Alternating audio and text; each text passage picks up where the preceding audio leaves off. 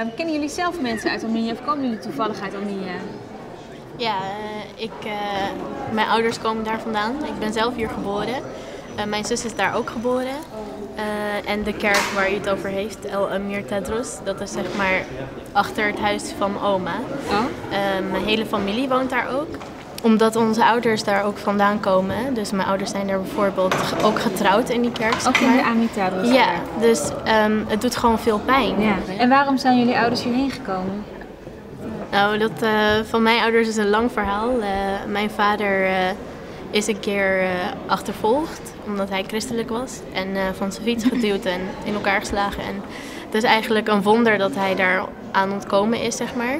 Uh, en vanaf dat moment hebben ze besloten van wij kunnen hier eigenlijk niet meer veilig leven. Dat was eigenlijk ja, reden. Dat is de aanleiding geweest, ook toen al, dat je vader zich niet vrij voelde om te geloven. Ja, zeker. En bij jou was dat? Uh, mijn familie of bij mijn vader was het niet zo dat er echt sprake was van de discriminatie of onderdrukking. Mhm. uh, maar als christen heb je in het algemeen in Egypte gewoon veel minder de kans om jezelf te ontwikkelen, om verder te ontplooien. Kun je daar voorbeelden van noemen dan? Nou, een klein voorbeeld is dat als je naam al christelijk klinkt, dan krijg je, word je gewoon niet aangenomen als je gaat solliciteren bij een baan. Je kansen worden, je loopt heel veel kansen mis daar.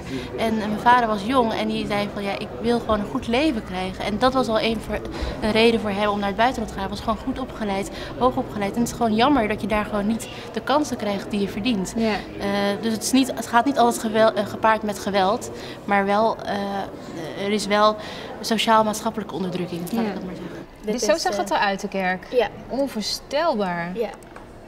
En dit was hoe het was. Ja. Doe nog eens terug. Dus dit. Ja. En dit. Ja. Ja, dus, uh, het was best wel kan je echt niet voorstellen dat het... Uh, ik, ik heb die kerk gezien, maar dit kan me niet voorstellen dat, dat, dat het zo was daar. Ja, echt heel verdrietig als je het zo ziet.